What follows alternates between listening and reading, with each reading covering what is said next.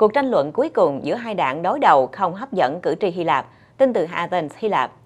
Hai đảng kình chống nhau vẫn tiếp tục ở vị trí theo sát nút qua cuộc thăm dò dư luận trước ngày bầu cử Hy Lạp vào Chủ nhật 20 tháng 9 tới.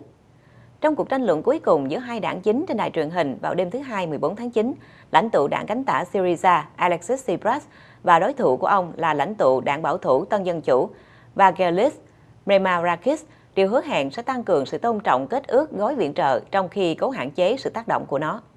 Ông Vangelis Mimarakis nói rằng Syriza hoan nghênh việc liên minh với đảng Tân Dân Chủ, trong khi người Hy Lạp tìm kiếm sự ổn định qua việc hai đảng cùng làm việc với nhau. Nhưng ông bác bỏ việc chia sẻ quyền lực với ông Tsipras. Còn cựu Thủ tướng Tsipras thì nói rằng sự liên minh với đảng bảo thủ sẽ không dễ dàng. Trước đó, người điều hành Viện Tham dò dư luận nói rằng cuộc tranh luận không xác định được kết quả của cuộc bầu cử. Cử tri Hy Lạp có vẻ đồng ý với nhận định này và cho rằng cuộc tranh luận nhạt nhẽo và sẽ không tác động đến quyết định của họ.